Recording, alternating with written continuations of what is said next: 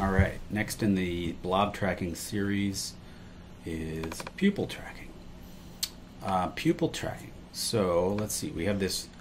I built this head mounted infrared eyeball camera You know, just for fun. just for fun. um, I wanted to see if I could build a gaze tracker that could tell based on where my pupil was in this in the video frame. So the video frame is me really close up on my eye, and it's just looking at basically my eyeball. And as I look around, uh, basically shift my eye position, it can track the center, the black part of my eye, the pupil, and based on where that is, sort of infer what direction I'm looking. Because the camera is mounted to my head, it doesn't matter if I move my head around, that doesn't matter. It's only looking at my pupil moving around. So let's load that up and play it. There it is.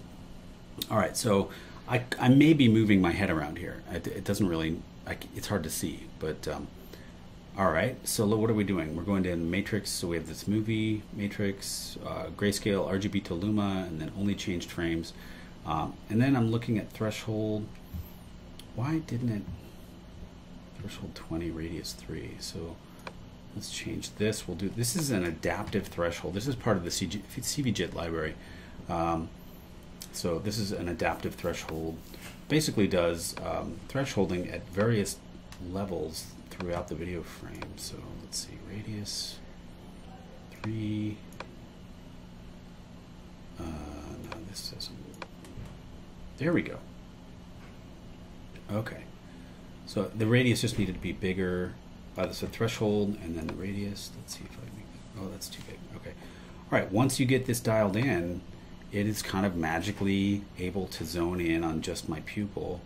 Um, and then we're sending that black and white blob trackable video into the blob labeler. Blob labeler is doing centroids, sending, and then this is filtering out just the biggest blob um, using the ZL object. It's looking at the first element in the list, which is always the biggest blob. Um, and then, so this is the XY coordinates, X and Y and then it draws the target on those XY coordinates, um, drawing back over the original video frame. And um, Right. there you go. I mean, essentially, though, this is still just blob tracking. What makes it a pupil tracker is that it's focused on your pupil. The video is. Exactly. Yeah. Yeah. So in this case, what, um, the adaptive thresholder, which is in the video processing modules, we just didn't show it until now. So um, using the adaptive thresholding on it happened to work really well on this particular video.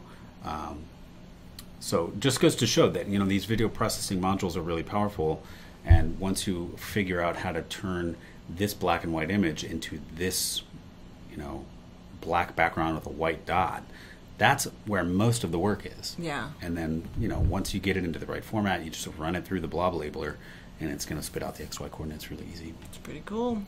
But yeah, adaptive thresholding is um, it says good for uneven illumination. Adjusts the threshold based on the brightness of an area surrounding each pixel. So um, that's really useful in this particular case. So yeah, all kinds of stuff you could do with an eye tracker. Uh, there's a YouTube video we show in class where this guy has ALS. It's what's, what's the name of that video? It's a eye writer. Eye writer. He's the you guy can- who did the graffiti guy. yeah, you can look up EyeWriter on YouTube, and there's this nice video, this project they did where they this guy had ALS and couldn't move his hands or arms or legs or anything. He used to be a Um, artist. He was a graffiti artist, and uh, and then he who made that video? Who made that project? I don't recall. Anyway, okay, um, His friends. I thought it was like his Yeah. friends got together with some people to do it. yeah, Anyways, yeah, it was a nice project, lovely. And, they, and then they used a projector outside his window, and he was tagging the building across from the hospital where he was being treated. So, um, cool project. Was it Kyle McDonald? I don't know. I can't remember. Um, move it on. all right, moving on.